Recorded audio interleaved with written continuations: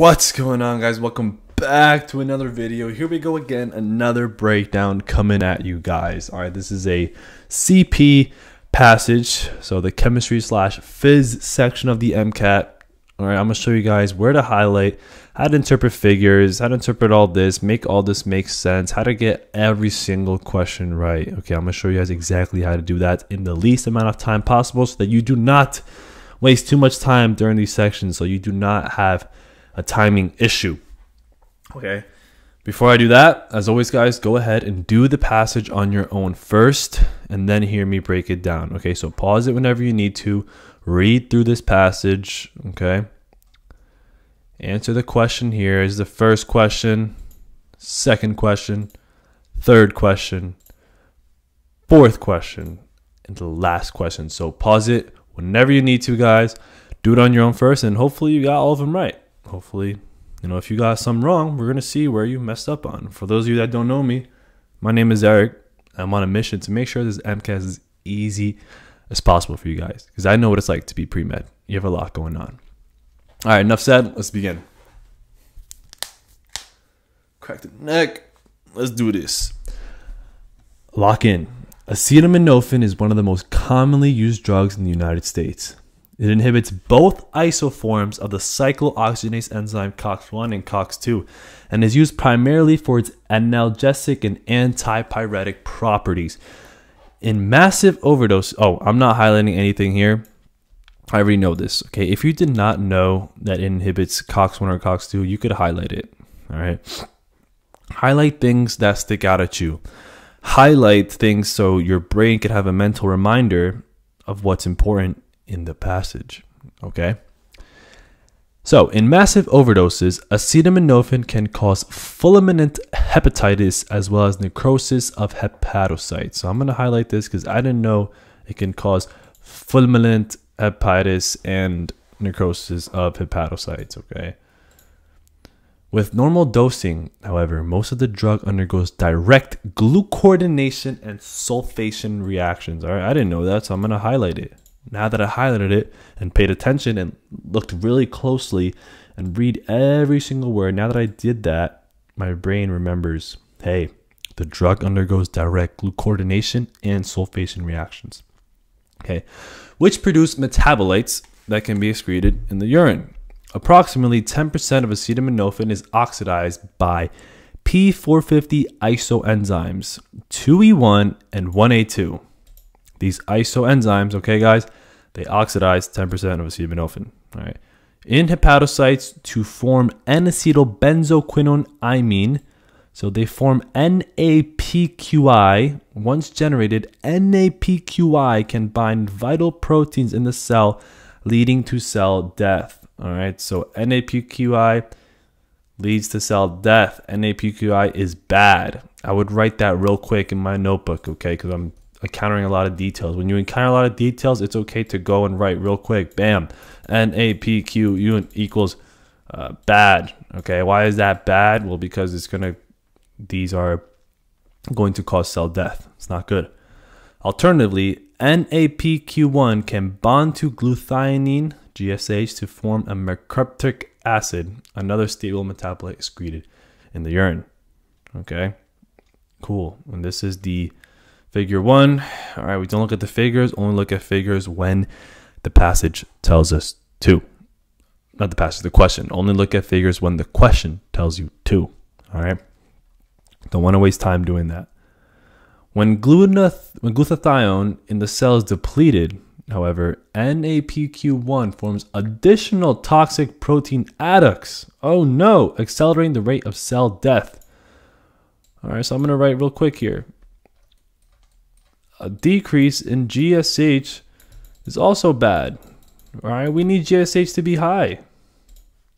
One common cause of GSH depletion is chronic alcohol consumption, which not only induces the action of CYP2E1, but also utilizes GSH as shown in figure 2.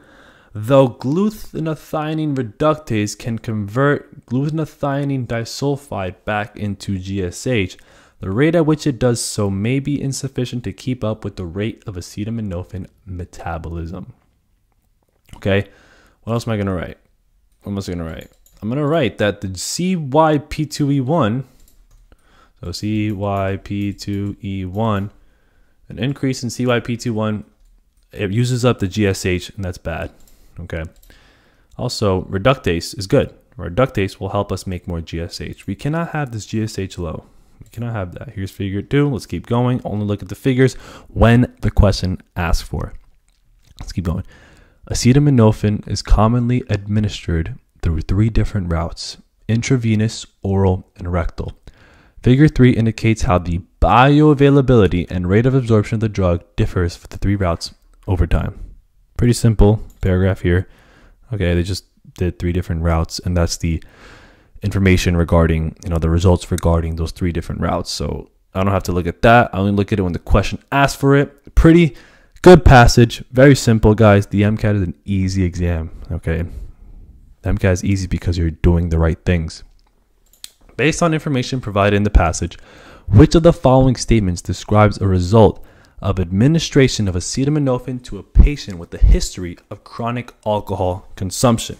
Well, remember, guys, since I highlighted thoroughly, okay, the chronic alcohol consumption, okay, it induces CYP2E1, which utilizes GSH.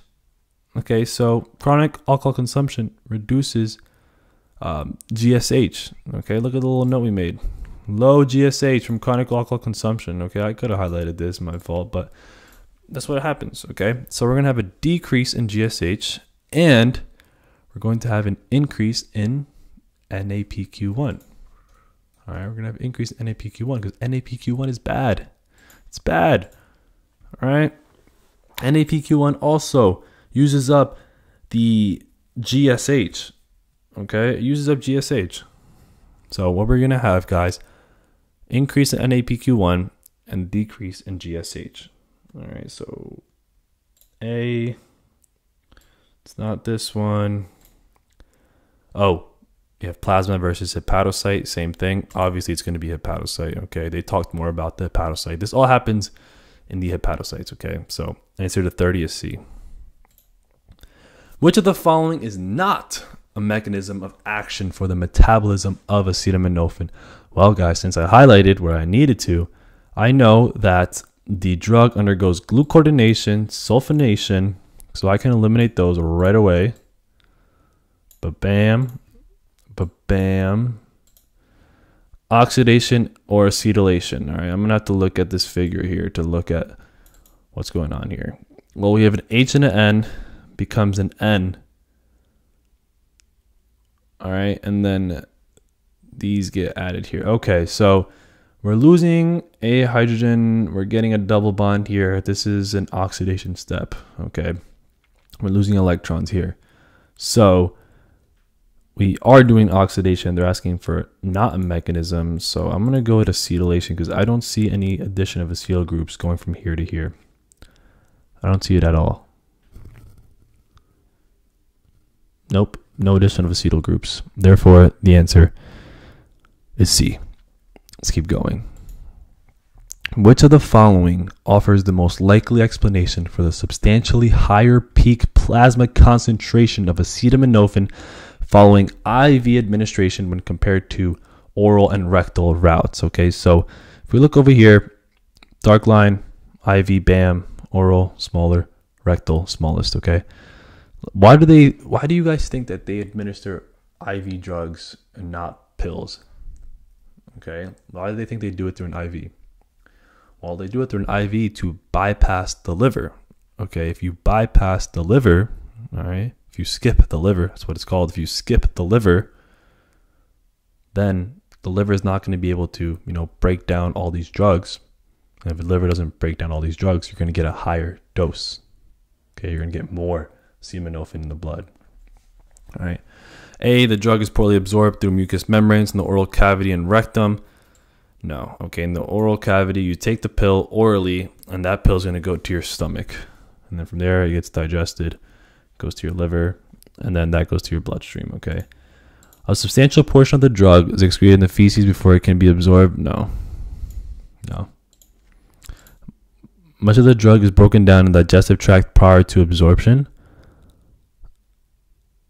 Mm, yeah. The liver breaks down a large portion of the drug before it reaches the systemic circulation after oral or rectal administration. Yeah, this is correct. Okay. You guys should know the pathway.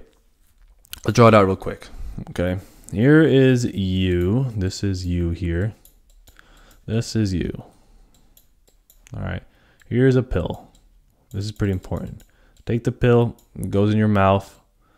All right, is your mouth. It's going down your esophagus, goes to your stomach here. All right, is your stomach. All right, after your stomach, it goes to where? It goes to your small intestine. All right, in your small intestine, you have various uh, villi. You have villi here, and then on these villi, you have microvilli.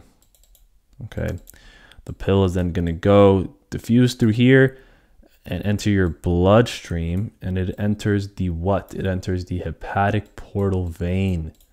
All right, HPV, HPV. All right, well, I'm gonna call it HPV. Okay, the hepatic portal vein, and after that, it goes where?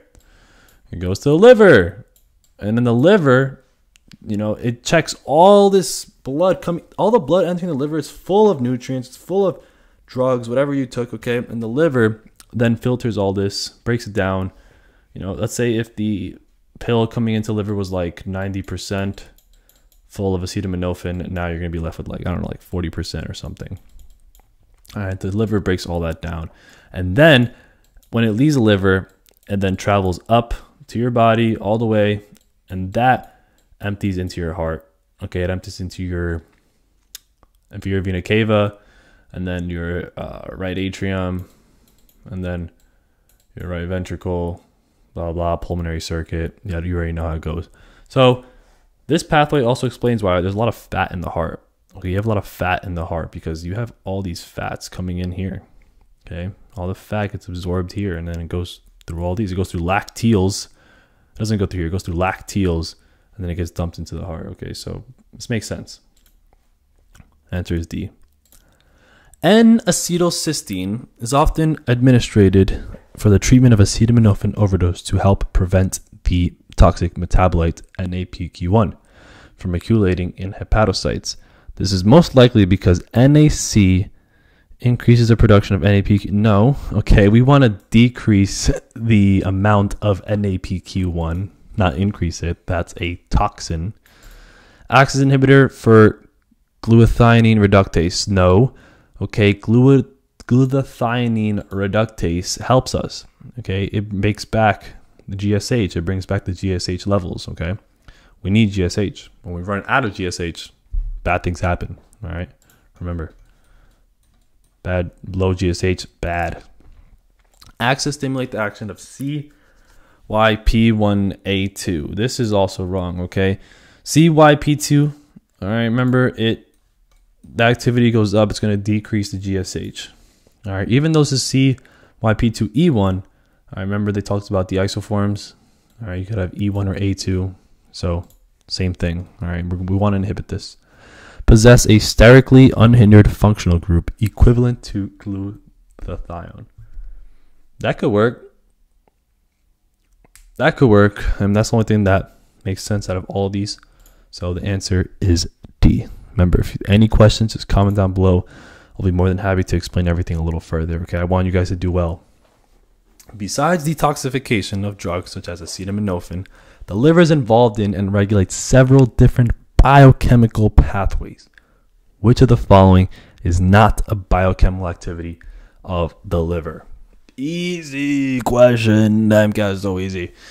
Regulation of carbohydrate metabolism. Obviously, it does that. The liver, it does that. I don't have to explain that production of lipases and bile for fat digestion. I don't know if it produces lipases. It does produce bile. Let's keep going. Deamination of amino acid. Yeah, it does that. Okay, it does that, the liver. Lipid metabolism, including cholesterol and lipoprotein synthesis. Yes, okay, it does metabolize cholesterol. All right, you should know this pathway as well. All right, let's say this is your liver I'm gonna go real quick. Okay, say it's your liver. Uh, after your stomach, the enterocyte. Okay, remember how I was talking about um, the pathway of blood, yada yada. All right, basically you're gonna have the chylomicron, chylomicron, blah blah. blah. Okay, the chylomicron that enters the liver, okay, it's gonna be broken down into a VLDL, very low density lipoprotein. That's gonna go do its thing and come back, and then the liver is gonna break it down into a LDL, low density lipoprotein. So these lipoproteins, okay, the whole structure of them, they have cholesterol in them. So you're basically metabolizing cholesterol. Okay, so I like B. I don't think the liver produces lipases. I'm pretty sure the pancreas produces lipases. I don't remember hearing about liver lipase. So I'm gonna go with B. All right, and that is it, guys. That's how you get all of them correct, and I am confident they're all correct. Let's see. All right, we got 30. C, correct. 31. C, correct. 32. D, correct. 33. D, okay. 34.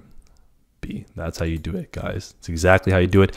If you are interested in working one on one with me inside MCAT University. Okay, guys, it is a fully loaded program to hit your MCAT target score. It is absolutely proven to hit your target score. Okay, in there in MCAT University, you have access to me in case you have any questions at all at any time. All right, in there in MCAT University, I literally show you how to hit your target score in half the time. Okay, you don't you don't want to take the MCAT more than once. Okay, you want to take it once. You don't want to waste your time. So I show you how to do in half the time. Also Many people are hitting their target score in there. Okay. Many people are going to hit their target score. I promise you that. I've done it before with other premeds, and this is just an accumulation of two years worth of teaching for the MCAT. All right. So it's proven to your target score half the time doing it. And it's very easy. Just do what goes on. Like do what the I'm sorry. do what they tell you to do in MCAT University. It's laid out. Everything's laid out. All you have to do is just follow. Just follow the proven process. That's it. That is it. Okay. You will hit that 132, 131, whatever your target score is, whatever you dream of your target score to be, you will hit that and you will go to med school. Okay. Promise you. So if you're interested in that, click on the link. Click on the link in the comment section. All right. After you're done clicking it, you're going to fill out the application. After you fill out the application, you're going to book a call.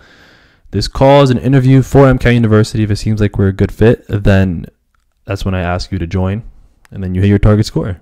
So I'll see you guys in the next video.